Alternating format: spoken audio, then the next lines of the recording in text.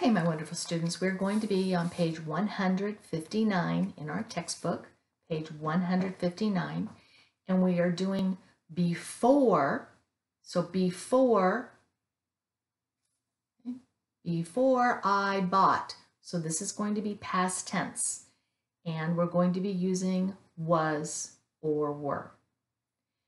Then the last sentence is going to be present tense. Now it's. So that's what the example is. So let's listen to the example and we'll do the exercises. Page 159. Before I bought Presto shampoo, listen to the model.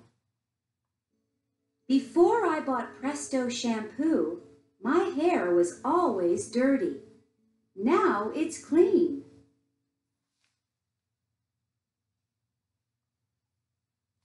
Exercises 1 through 6.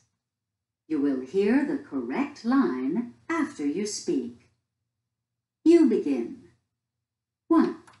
Okay, so what we're doing here is we're going to be reading this whole thing here, and then she will do it again. So number one, so number one, we'll do it together first, and then we'll listen to it again.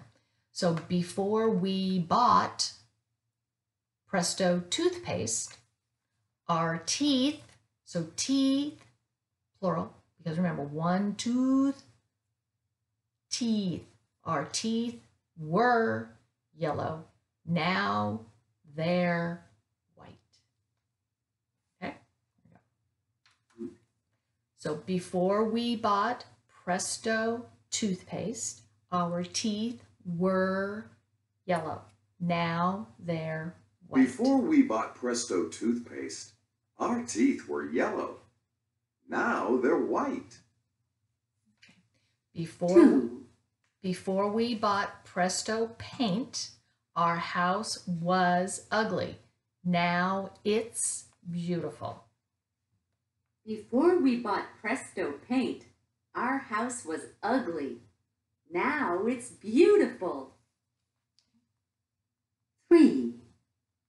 Before I bought Presto armchair, I was uncomfortable. Now I'm very comfortable. Before I bought a Presto armchair, I was uncomfortable. Now I'm very comfortable. 4. Before we bought Presto dog food, our dog was tiny. Now it's enormous. Before we bought Presto dog food, our dog was tiny. Now it's enormous. 5. Before I bought Presto window cleaner, my windows were dirty. Now they're clean. Before I bought Presto window cleaner, my windows were dirty. Now they're clean. Number six. 6. Before we bought Presto floor wax, our kitchen floor was dull. Now it's shiny. Before we bought Presto floor wax, our kitchen floor was dull. Now it's shiny.